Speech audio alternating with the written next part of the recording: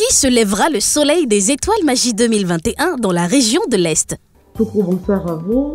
Moi, c'est Koubissa Kamjan Stéphanie de la région de l'Est, Bétois.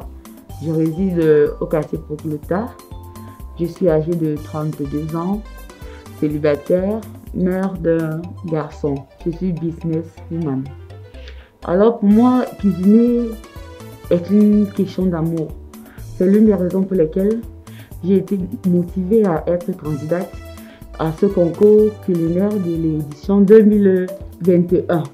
Alors, étant euh, rassurée et consciente que je serai l'étoile de cette édition, et d'emblée, la récompense est la, somme de 500 000 francs.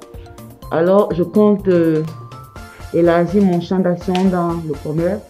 Alors, je fais un coucou particulier à mes parents, à mes frères et sœurs, à mon fils Farel.